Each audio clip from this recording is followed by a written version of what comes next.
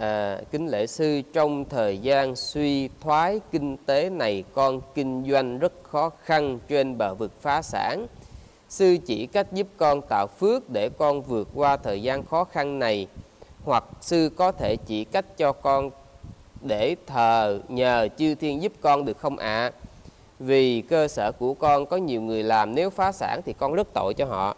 Ừ, kính chuyên sư. Nó um, nó kẹt như vậy nè. Là bây giờ á, nếu mà sư chỉ cho quý vị á, mà quý vị làm theo mà quý vị vẫn phá sản rồi thì quý vị có mất niềm tin nơi Phật pháp hay không? Hay là nhẹ là mất niềm tin nơi sư mà nặng là mất niềm tin nơi Phật pháp? Tại vì á cái chuyện chúng ta làm ăn thất bại á nó có nhiều nguyên nhân.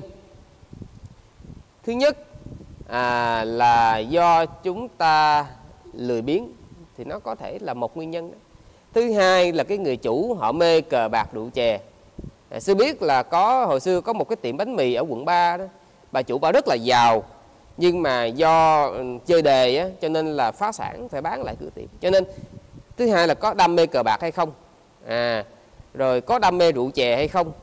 Rồi có đam mê trai gái hay không? Có nhiều người họ tiền họ bỏ họ nuôi gái hết. À rồi um, à, cái lười biếng là sư nói rồi ha. À, rồi um, có do mình dốt hay không? Tức là do mình thiếu kiến thức để mà mình vận hành công ty. Có phải hay là không? Rồi à, một cái nguyên nhân nữa là có phải là do cái bị người khác tấn công hay không?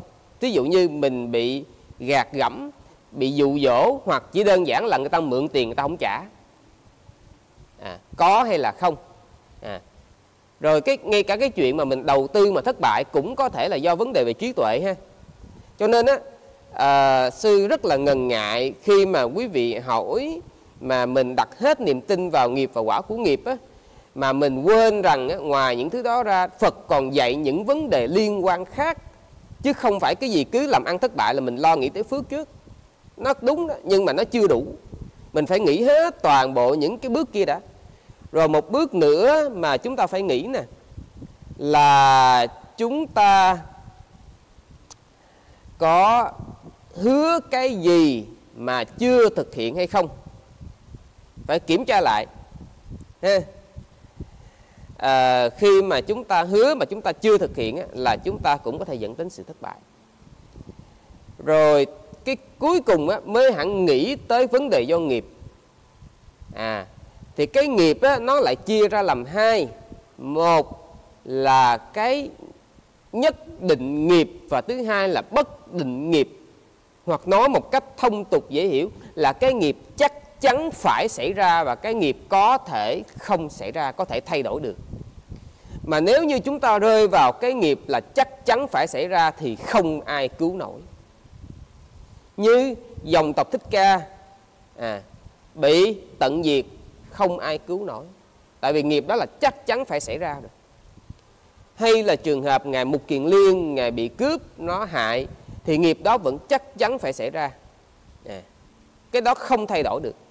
Cho nên á, đôi khi sư nói lỡ nha mà cái này là do nghiệp của quý vị, do đời trước mình từng làm ác đi. Đời nay cái nghiệp mình phải bị thất bại, đó là chắc chắn phải xảy ra rồi. Mà quý vị tìm cách này cách kia rồi, lỡ không được rồi, có phải quý vị đổ thừa không? Thành ra đó, mình phải lường trước hết toàn bộ các sự kiện. Mình sẽ phải kiểm tra hết.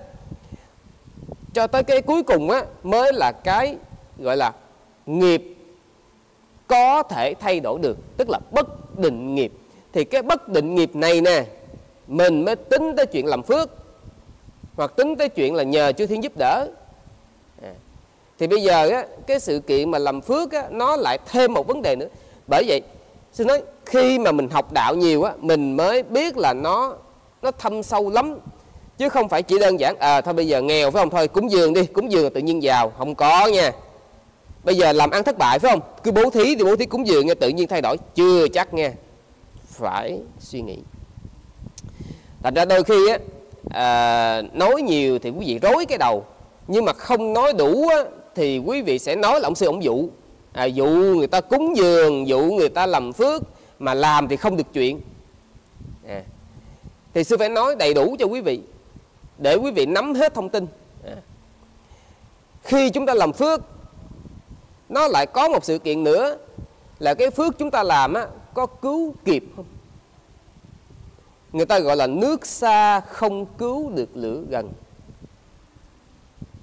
Khi chúng ta làm phước á cái phước nó cần thời gian để nó trổ. Trừ khi á chúng ta đi um, à, gọi là cúng dường bậc chánh đẳng giác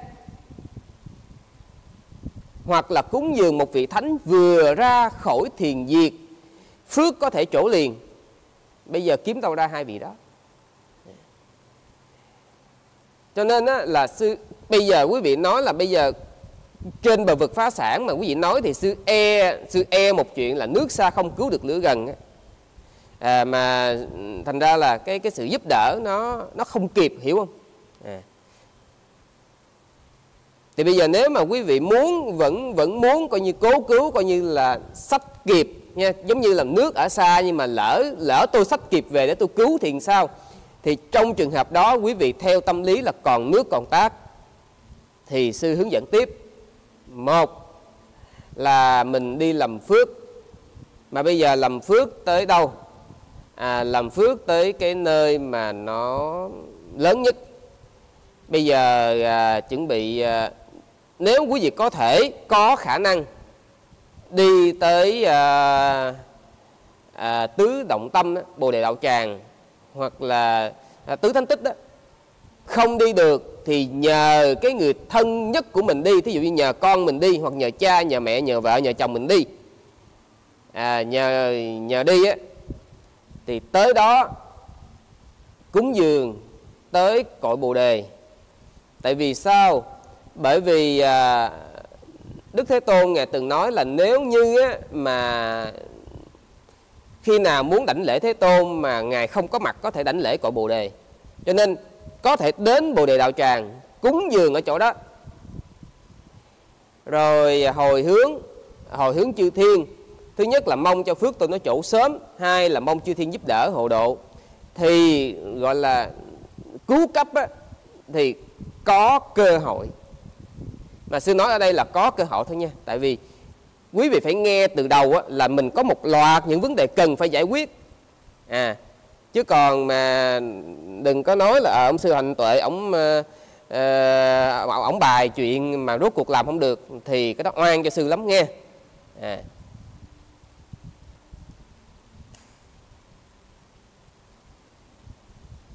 rồi chúng ta qua cái à, câu hỏi tiếp theo.